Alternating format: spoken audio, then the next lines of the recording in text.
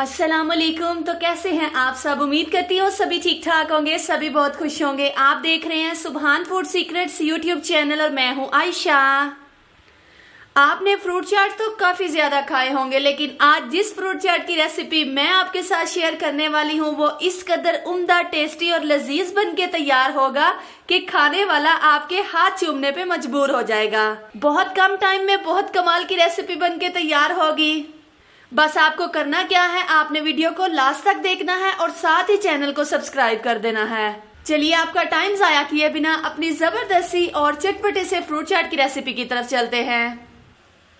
इस ज़बरदस्त, टेस्टी और शानदार से फ्रूट चाट को बनाने के लिए इसकी सॉस तैयार करना बहुत ज़्यादा अहम है। इसकी सॉस अच्छी बनेगी तो इस, ये फ्रूट चाट जो है बहुत कमाल का बन के तैयार होगा। सबसे पहले एक पैन में हमने डाला है तकरीबन हाफ़ कप के बराबर। ये हमारे पास खुश्क खुबानी है, साथ ही एक कप के बराबर इसमें पानी हम ऐड कर देंगे। खुबानी जो है वो आप लोगों को इजीली किसी बड़े जनरल स्टोर से मिल जाएगी, कोई मसला नहीं है।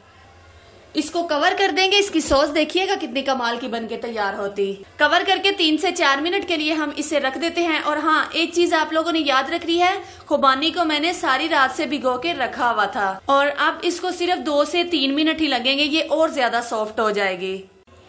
इसे हो चुके हुए हैं यहाँ पे तीन मिनट ऐसे ही कवर किए हुए मीडियम फ्लेम पे। तो आप देख सकते हैं, खुबानी जो है, बहुत ज़बरदस्त ही सॉफ्ट हो चुकी हुई है। ये देख सकते हैं, ये अच्छे से टूटने भी लग चुकी हुई है। गैस का फ्लेम बंद कर देंगे, इसको ठंडा कर लेंगे और ब्लेंड कर लेंगे अच्छे तरीके से। ब्लेंड करने के बाद फिर हम इसकी अच्छे से सॉस बनाते हैं। और इसमें क्या क्या डाला जाएगा, साथ ही साथ मैं आपको बताऊँगी। खुबानी को यहाँ पे हमने कर लिया हुआ है। अच्छे तरीके से ब्लेंड इसको डालेंगे हम पैन में। थोड़ा सा पानी भी डाल देंगे ताकि जग भी हमारा ज़बरदस्त साफ़ हो जाए। गैस का फ्लेम ऑन करेंगे और इसमें हम ऐड करेंगे हाफ़ कप के बराबर ये इमली का पल्प है। इसको भी हमने सारी रात से भिगो के रखा था इमली को और उसके सीड्स हमने अलग कर लिए हुए थे। सीड्स हमने बिल्कुल रिमूव कर दिए हुए थे। हमें पल्प चाहिए था तो हमने पल्प इसमें से निकाल लिया। और इसको अच्छे तरीके से हमने छान लिया था। गैस का फ्लेम हम ऑन करेंगे और इसकी हम ज़बरदस्ती यहाँ पे पहले पकाई करेंगे। इसको तकरीबन तीन से चार मिनट के लिए हम ऐसे ही पकने देंगे, फिर बाद में हम इसमें स्पाइसेस डालेंगे जो कि इसमें डालने चाहिए हैं। यहाँ पर आप देखिए, माशाल्लाह से सॉस जो है कितनी ज़बरदस्ती तैयार हो रही है।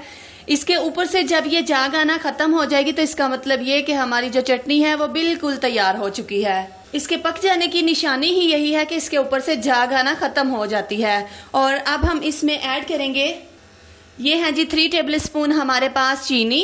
वन फोर टी स्पून भर के काला नमक ऐड करेंगे। वन फोर टी स्पून भर के ही हम इसमें लाल मिर्च का पाउडर ऐड करेंगे। आप अपने टेस्ट के अकॉर्डिंग कम ज़्यादा कर सकते हैं। इसको अच्छे तरीके से हम मिक्स करेंगे और मजीद इसकी तीन से चार मिनट के लिए हम बुनाई करेंगे। स्पाइसेस अपनी मर्ज़ी से कम ज़्यादा कर लीजिएगा, कोई मसला नहीं है। गैस का फ्लेम आपने मीडियम रखना है, चम्मच आपने चलाते रहना, नहीं तो इसमें गुठलियाँ बन जाएँगी। इस चटनी की अलग से भी रेसिपी जो है वो मेरे चैनल पे अपलोड है। आप लोग चाहें तो वो भी देख सकते हैं। वो भी बहुत इजीली तरीके से मैंने बना के तैयार की हुई है इमली और खुबानी की चटनी। और अभी जाएँ और जाके आप लोग देखें। साथ चैनल को सब्सक्राइब कर दे इस तरह की मज़े मज़े की रेसिपीज़ के लिए। ले जी, इस चटनी को यहाँ पे हम पकने देते हैं। फ्रूट्स की कटिंग कर लेते हैं। फ्रूट्स में देखते हैं हमने क्या क्या रखा हुआ है। इसको पकाई में लगेंगे तकरीबन चार से पाँच मिनट। और आप देख सकते हैं जाग इसके ऊपर से थोड़ी सी कम हो चुकी हो या इसको अच्छे से हमने पकाना है ताकि ये मुकम्मल तौर पे ख़त्म हो जाए। फ्रूट्स में जी यहाँ पे हमारे पास ग्रेप्स हैं, अनार हैं, सेब हैं, केले हैं और ये हमारे पास किशमिश है।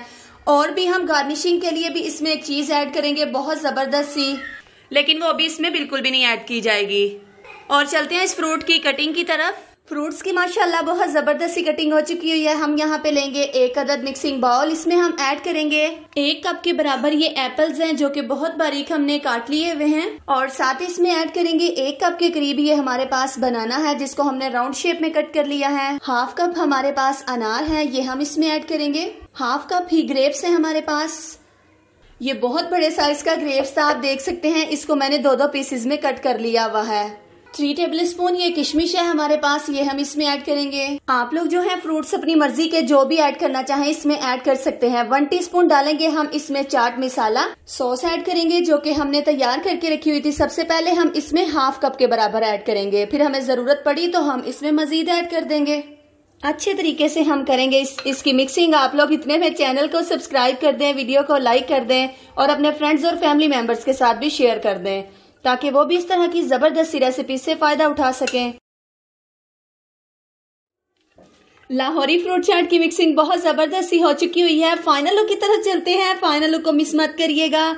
इनशाला बहुत मज़ा आने वाला है। आइए फाइनल लुक की तरफ़ चलते हैं।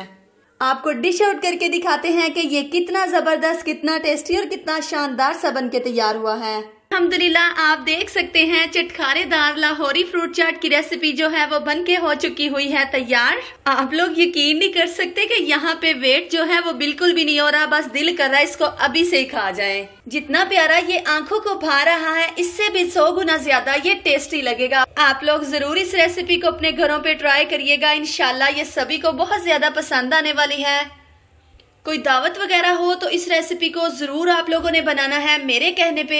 इनशाला आपको भी तारीफें सुनने को मिलेंगी मेरी तरह। आप लोगों ने आज चैनल को ज़रूर सब्सक्राइब करना है।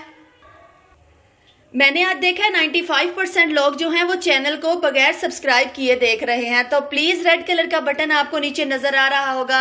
आप उस, आप उसको एक बार सिर्फ़ प्रेस कर दें, आपका क्या जाता है। आज इंशाल्लाह मेरी सब्सक्राइबर पे नज़र होगी। मैं आपको अपनी नेक्स्ट वीडियो में मिलती हूँ। अपना ढेर सारा ख्याल रखिएगा। दुआओं में मुझे याद रखिएगा। इस तरह की मज़े मज़े की रेसिपीज़ के साथ नेक्स्ट वीडियो में आती हूँ। दुआओं में मुझे याद रखिएगा। अल्लाह हाफिज।